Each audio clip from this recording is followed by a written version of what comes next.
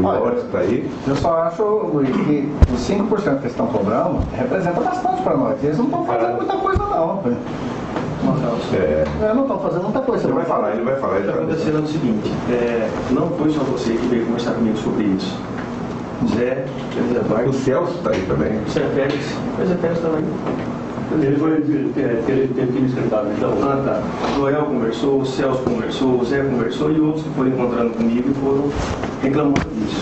Eu deixei bem claro que eu não tenho absolutamente nada a ver com isso. Isso é algo estabelecido por lá. Não é para isso que eu estou no processo.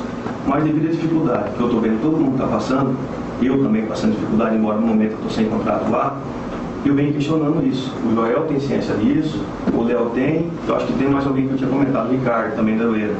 Que eu vinha, já tem mais de 30 dias nessa discussão com ele. Ontem eu dei o checkmate, olha, precisa dessa definição, não tem mais como prorrogar. O pessoal não está conseguindo falar isso.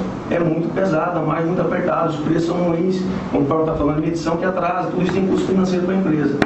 Consegui reduzir para 3%, que é o que vinha sendo. Ele confirmou isso, Luiz? Confirmou ontem, fim do dia. Ontem, fim do dia, tinha um Ó, ontem foi confirmado isso. ó. Então, quer dizer, eu creio que isso aí já vai dar um códigozinho 3%. bacana para todo mundo.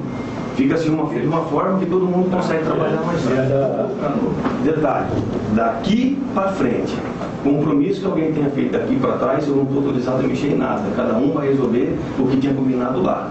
Daqui para frente vai ser todo O que frente já está nessas condições. Da medição de outubro para frente. É, então, o que fez? Alguém que tem compromisso, que está inadimplente, tem que correr atrás. Outra coisa que ele falou, está acontecendo é o seguinte, Luiz, não é todo mundo que está cumprindo. Então, quem está cumprindo está carregando quem não está nas costas. Então, tudo bem, vou fazer isso aí, mas todo mundo tem que cumprir. Até nós conversamos isso, né? Nada mais do que justo. Melhor Porque um não pode pagar pelos outros, porque todo mundo está tendo benefício de informação.